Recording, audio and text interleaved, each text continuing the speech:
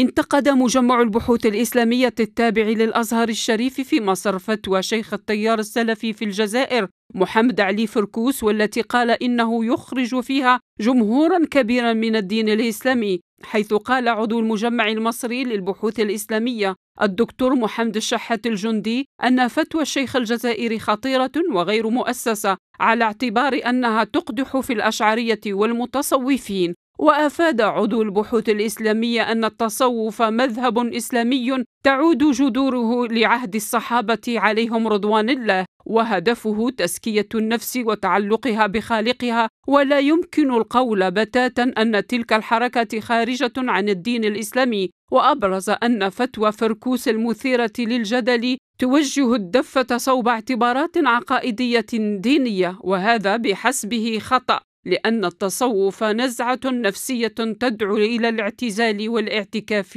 للعبادة. وأبرز الجندي في تصريحات إعلامية أن التيار السلفي عرف بعداوته وكراهيته للصوفية والمتصوفين وللمذهب الأشعري موضحا أن الخلاف بين التيارين سياسي وليس ديني. وشدد عضو البحوث الإسلامية للأزهر أن المذهب الأشعري أيضا هو مذهب معروف من مذاهب أهل السنة والجماعة إن لم يكن أقربها وهو المكون الرئيسي لأهل السنة والجماعة.